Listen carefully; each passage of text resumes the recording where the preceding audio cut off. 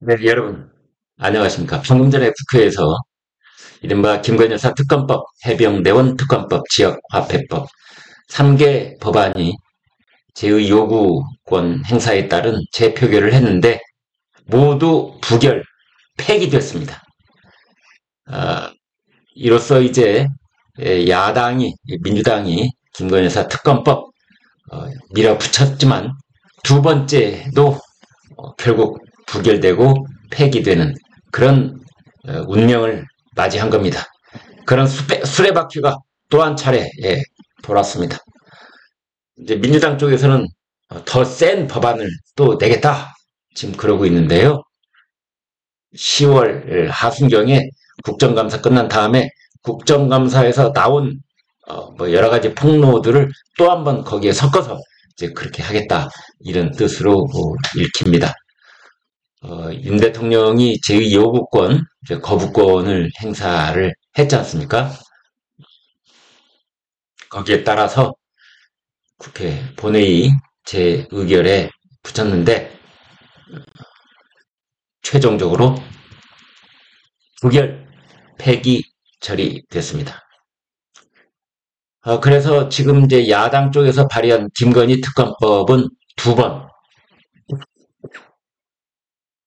해병대원 특검법은 세 번, 어, 둘다 합하면 다섯 번 특검법이 다 폐기가 어, 됐습니다.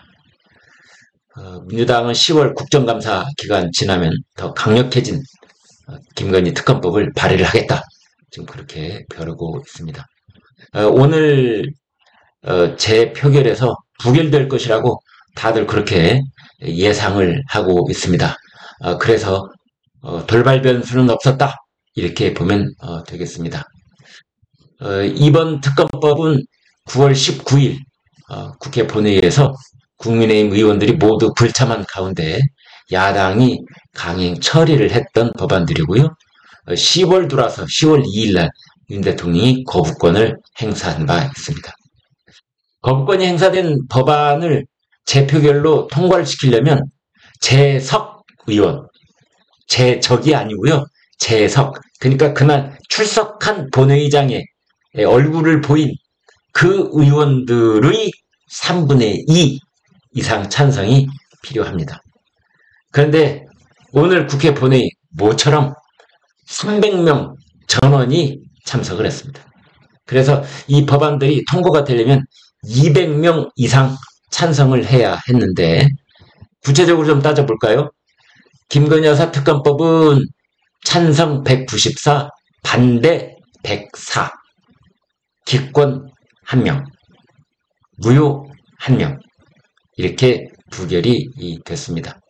해병대원 특검법은 찬성 194, 반대 104, 무효 2 그리고 지역화폐법은 찬성 187, 반대 111, 무효 2 이렇게 최종 부결 폐기 처분됐습니다. 그런데 문제는 김건희 특검법 반대가 108명이 아니라 104명으로 나온 겁니다. 따라서 104명 그렇다면은 국민의힘에서 이탈표가 4명이 나온 것 아니냐 뭐 이런 얘기가 지금 나돌고 있습니다. 기권 한 명, 무효 한 명. 어, 결과적으로 기권 한 명과 무효 한 명도 어, 부결, 반대와 어, 동일한 효과를 가져오기 때문에 그러면 기권을 의도적으로 하고 무효를 의도적으로 표를 발생시켰다고 했을 때 106명이 반대를 했다고 추정을 해볼 수가 있거든요. 그렇다면은 국민의힘에서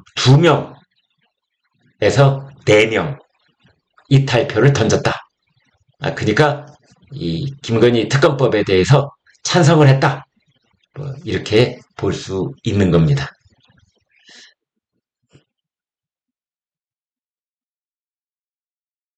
이제 국민의힘의 한동훈 대표 오늘 오전에 국민의힘 의원총회가 있었거든요.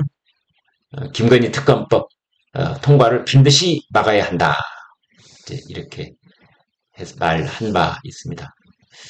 아무튼 국민의힘 총원은 108명 이고 이제 반대는 104명이 했기 때문에 국민의힘에서 한 자릿수 이탈표 5명 미만의 이탈표가 일단 나오는 것으로 볼 수 있습니다. 추경호 국민의힘 원내대표 오늘 총의를 바탕으로 한 표결에서 이번 제2 요구에 대해서 부결했다. 여기에 큰 의미가 있다. 이제 그렇습니다. 일부 이탈표에 대해서 추경 원내대표 어, 단일 대우가 깨졌다고 생각하지 않는다. 여전히 확고하게 유지되고 있고 앞으로 지속될 것이다.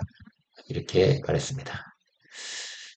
어, 이런 상황 속에서 이제 그 한동훈 대표 그리고 친한계 의원들 사이에서는 이번까지는 부결이 되지만 이번까지는 방탄 부결을 했지만 누구를 김건희 여사를 지켜내기 위한 방탄 부결을 했지만 10월 말에 이른바 그 김건희 여사 특검법에서 독소 조항을 뺀 그런 어, 특검법이 또 발의가 될 경우에는 그때는 아무도 장담할 수 없다. 아, 모른다. 그런 얘기도 하고 있습니다.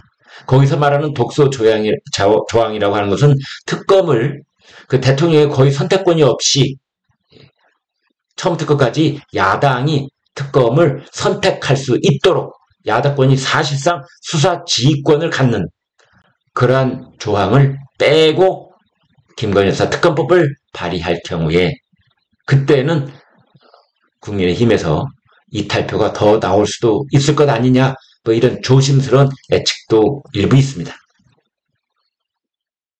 네, 여기까지 속보 어, 전해드렸습니다. 여러분 고맙습니다.